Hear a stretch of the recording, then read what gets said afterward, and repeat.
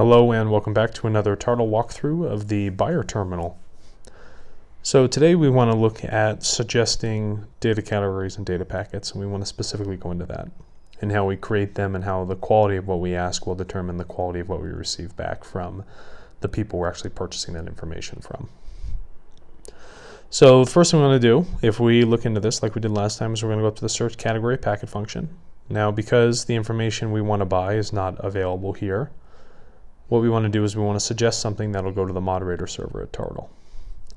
So if we want to suggest a category, uh, say for instance, let's choose a random icon and we're going to call it hearing. Category description, so we're going to be dealing with um, various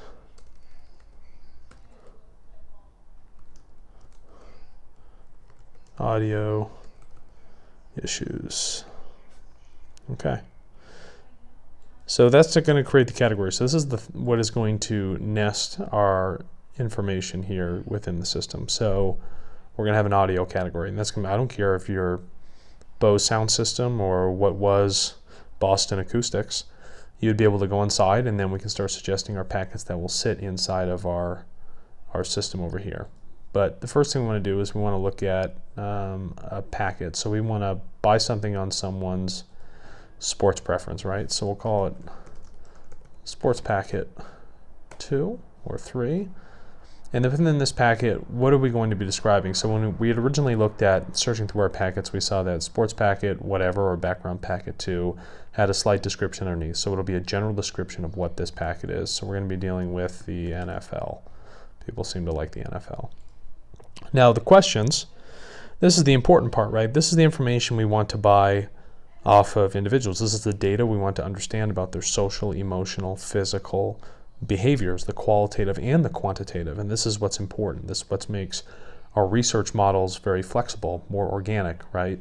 They make it uh, more humanistic, which is important. They add some spirit to the data, which is currently lacked with how we do a lot of our research and apply our backpropagation of machine learning is understanding people from certain algorithms, but those algorithms do not tie in the quality of who the individual is, right?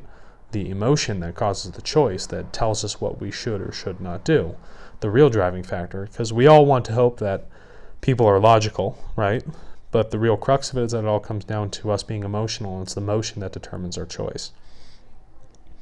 So here's our questions, right? So if we're going to ask a question about the NFL, which is your favorite which is your favorite team?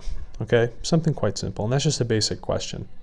So if I was going to put that in there, say I don't care who it is, uh, I don't know much about football, whether it be the Green Bay Packers or Miami Dolphins or I don't the Philadelphia Eagles or the New England Patriots, right? I'm going to put that in place. Or say for instance the person has, you know, they do have a favorite team, but within that they have more people that they have that are specific to um, what would you say their uh, fantasy football league, right? So list the players in your fantasy football league. Because most of the time, the fantasy football league is going to match their favorite team, right? I don't know. I don't know much about football, but I'm taking a stab at this, folks. So we're going to list the players in the league, right? And because I've selected multiple, the difference between a basic and the multiple, the basic says that the person, when going to add it into the, the packet, when they're going to be answering this information, right, in the data packet, which means they can only put one response in here. That's a non-dynamic response.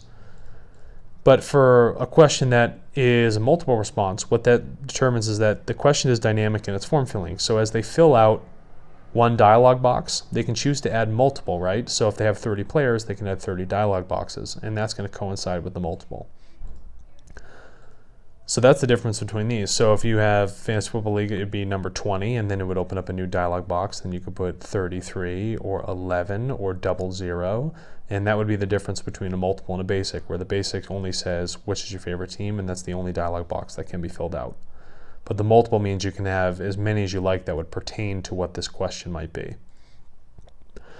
Now, the last choice that we have is image. So if you have, say for instance, you want to know what the inside of someone's house looks like on Sunday football, right? How they're going to set it up, the food they have out, how many people are in there, what they're what they're wearing, right? The quality of that environment.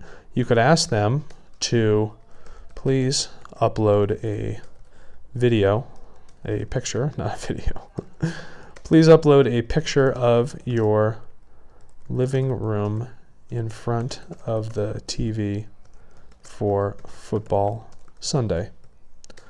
Now, for the first time ever, you're going to get insight into people's personal lives. You can actually see what is going on inside of their homes during that day at that exact time, right? And that will cause them to upload it. So now, if you're talking about analysis, now you're inside people's lives.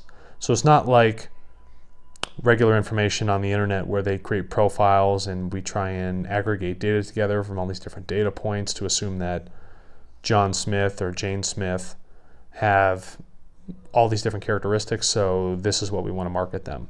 Yeah, that's all well and good, but beyond that, when you start looking at source data, like information of images inside people's lives and how they feel about certain things, now you're starting to figure out who they really are and how they act inside their homes. This is a little bit different than the kind of digital identity or digital twin that people think that they are online as opposed to what are they are really doing internally within themselves. So the beauty of this is that we have, and you can get creative. This is beyond NFL. You can use this into any type of research you want, financial options. It doesn't matter what it is. The options are limitless. It just depends on how well you can come up with ideas to solve the things you're actually trying to solve.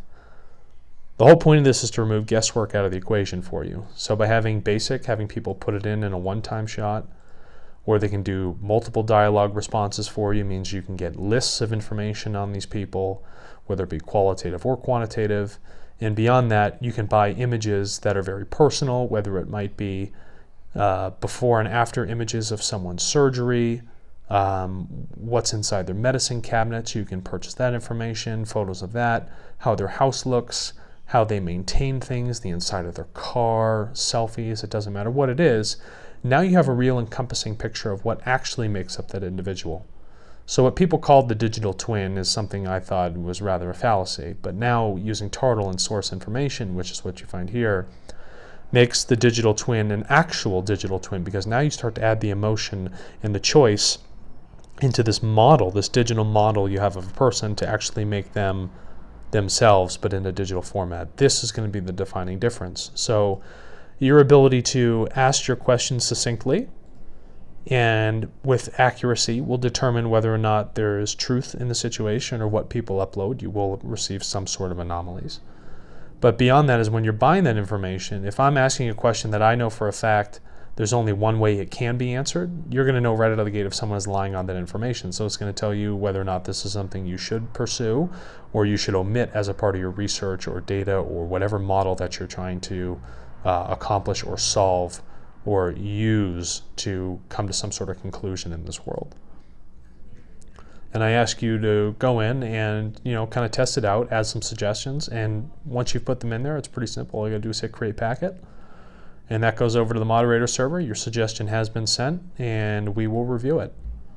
So hopefully that was helpful and if you have any more questions I urge you to leave some comments in the bottom of the video um, and then I can expand even further on certain functions within the system but please sign up, test it out and start looking into that source data so you can make some real effective decisions.